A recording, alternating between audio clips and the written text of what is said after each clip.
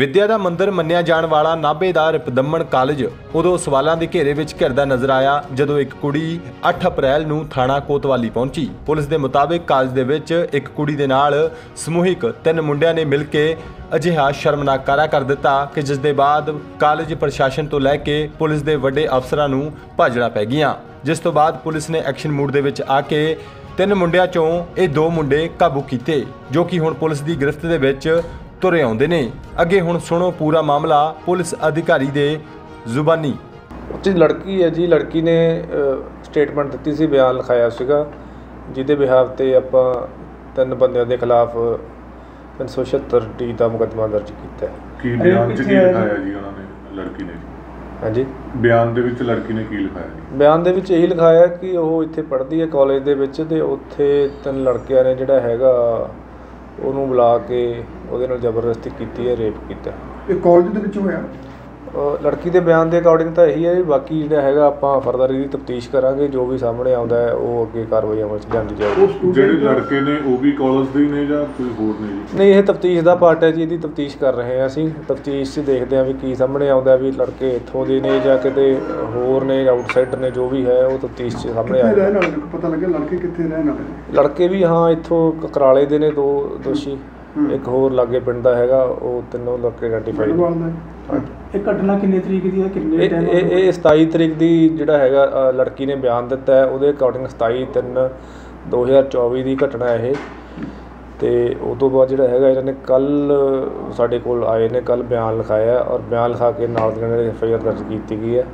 ਤੇ ਅੱਗੇ ਅਸੀਂ ਕਾਰਵਾਈ ਜਿਹੜੀ ਹੈਗੀ ਆ ਇਹਨਾਂ ਡਿਲੇ ਡਿਲੇ ਕਿਉਂ ਹੋਏ? 27 ਤਰੀਕ ਦੀ ਘਟਨਾ 9 ਦਿਨ ਬਾਅਦ ਪਰਚਾ ਦਰਜ ਹੁੰਦਾ ਨਹੀਂ ਸਾਡੇ ਵੱਲੋਂ ਕੋਈ ਡਿਲੇ ਨਹੀਂ ਹੈਗਾ ਜੀ। ਲੜਕੀ ਵਾਲੇ ਆਏ ਨੇ ਸਾਡੇ ਕੋਲ। ਉਹ- ਉਹਨਾਂ ਦੇ ਉਹਨਾਂ ਦਾ ਵਰਜ਼ਨ ਹੀ ਇਹ ਹੈ ਕਿ ਲੜਕੀ ਜਿਹੜੀ ਹੈਗੀ ਆ ਉਹ ਘਬਰਾ ਗਈ ਸੀ ਡਰ ਗਈ ਸੀ। ਉਹਨੇ ਕਿਸੇ ਨੂੰ ਦੱਸਿਆ ਨਹੀਂ ਹੈਗਾ। ਔਰ ਇੰਨੇ ਦਿਨਾਂ ਬਾਅਦ ਜਦੋਂ ਉਹਨੇ ਆਪਦੇ ਘਰਦਿਆਂ ਨੂੰ ਦੱਸਿਆ ਤਾਂ ਉਸ ਤੋਂ ਬਾਅਦ ਜਿਹੜਾ ਹੈਗਾ ਉਹ ਸਾਡੇ ਕੋਲ ਆਏ ਨੇ। ਅਸੀਂ ਨਾਲ ਦੀ ਨਾਲ ਬਿਆਨ ਲਿਖ ਕੇ ਆਪਣੀ ਕਾਰਵਾਈ ਅਮਲ 'ਚ ਲਿਆਂਦੀ ਹੈ। ਕੁੜੀ ਦਾ ਮੈਡੀਕਲ ਵਗੈਰਾ ਮੈਡੀਕਲ ਹੋ ਗਿਆ ਜੀ। ਅੱਜ ਮੈਡੀਕਲ ਕਰਵਾ ਰਹੇ ਹਾਂ ਅਸੀਂ। ਮੈਡੀਕਲ ਹੋ ਗਿਆ ਲੜਕੀ ਦਾ। ਇਹ ਜਦੋਂ ਜਬਰ ਜਨਾਹ ਹੋਇਆਗਾ ਇਹ ਕਿੱਥੇ ਹੋਇਆਗਾ? ਉਹਦੀ ਅਕੋਰਡਿੰਗ ਰੂਮ ਕਿੱਥੇ ਹੋਇਆ? ਲੜਕੀ ਦੇ ਅਕੋਰਡਿੰਗ ਤਾਂ ਜਿਹੜਾ ਹੈਗਾ ਉੱਥੇ ਹੋਇਆ ਕਾਲਜ ਦੇ ਵਿੱਚ ਹੋਇਆ ਹੈ, ਕਿਸੇ ਰੂਮ ਦੇ ਵਿੱਚ ਕੋਈ ਹੈਗਾ ਉੱਪਰ ਲੈਬ ਵਗੈਰਾ ਬਣੀ ਹੋਈ ਆ ਉੱਥੇ ਹੋਇਆ। ਹੈ। ਬਾਕੀ ਅਸੀਂ ਦੋਸ਼ੀ ਨੂੰ ਲੈ ਕੇ ਉੱਥੇ ਜਿਹੜੀ ਹੈਗੀ ਆ ਜਾ ਕੇ ਆਵਾਂਗੇ ਉੱਥੇ ਤਫਤੀਸ਼ ਤੇ ਕਰਾਂਗੇ ਉੱਥੇ ਵੀ ਕਿੱਥੇ ਹੋਇਆ ਕਿਹੜੇ ਰੂਮ 'ਚ ਹੋਇਆ ਕੀ ਹੋਇਆ ਕਾਲਜ ਦੇ ਵਿੱਚ ਹੋਇਆ ਜਾਂ ਕਿੱਥੇ ਹੋਇਆ ਜੋ ਵੀ ਹੈ ਉਹ ਬਹੁਤ ਤਫਤੀਸ਼ ਦਾ ਬਾਅਦ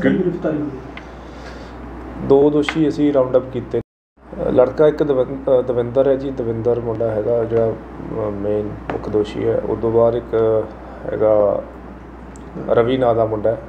ਉਹ ਦੋਨੋਂ ਅਸੀਂ ਰਾਉਂਡ ਅਪ ਕੀਤੇ ਨੇ। ਲੜਕੀ ਕਿਹੜੇ ਕਲਾਸ ਚ ਪੜ੍ਹਦੀ ਹੈ ਜੀ? ਪੜ ਰਹੀ ਹੈ ਇੱਥੇ ਆਪਣਾ ਰਿਪਤਮਨ ਕਾਲਜ ਦੇ ਵਿੱਚ ਬੀਏ ਕਰ ਰਹੀ ਹੈ। ਹੂੰ। ਤੇ ਉਮਰ ਕਿੰਨੀ ਹੈ? 18 ਸਾਲ 3-4 ਮਹੀਨੇ ਏਜ ਹੂੰ। ਹਾਂਜੀ।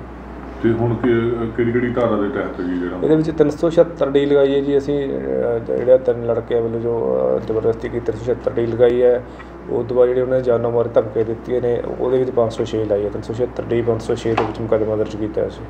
ਤੁਸੀਂ ਕਾਲਜ ਚ ਗਏ ਹੋ ਦੇਖਿਆ ਜਾ ਕੇ ਹਾਲਾਤ ਜਿੱਥੇ ਹੋ ਸਕਦਾ ਸੀ ਹਾਂਜੀ ਹਾਂਜੀ ਅਸੀਂ ਗਏ ਆ ਉੱਥੇ ਵੀ ਅਸੀਂ ਮੌਕੇ ਤੇ ਜਾ ਕੇ ਆਏ ਆ ਉੱਥੇ ਤਫਤੀਸ਼ ਕਰ ਰਹੇ ਆ ਹੋਰ ਵੀ ਜਿਹੜਾ ਤਲੇ ਜਿਹੜਾ ਹੈਗਾ ਕੋਈ ਸੀਸੀਟੀਵੀ ਲੱਗੇ ਨੇ ਜਾਂ ਹੋਰ ਵੀ ਕੋਈ ਸਾਨੂੰ ਕੋਈ ਹੋਰ ਸਬੂਤ ਮਿਲਦਾ ਹੈ ਸਾਰੀ ਅਸੀਂ ਐਵੀਡੈਂਸ ਲੈ ਰਹੇ ਹਾਂ ਹਰ ਪੱਖ ਹੈ?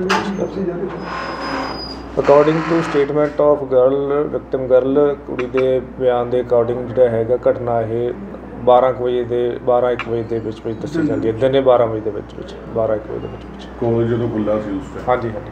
ਹੁਣ ਇੱਕ ਜਿਹੜਾ ਅਕਿਊਜ਼ਡ ਆ ਉਹ ਬਾਕੀ ਰਹਿ ਗਿਆ ਫੜ ਹਾਂਜੀ ਹਾਂਜੀ ਉਹਨੂੰ ਵੀ ਅਸੀਂ ਜਲਦੀ ਅਰੈਸਟ ਕਰ ਲਾਂਗੇ।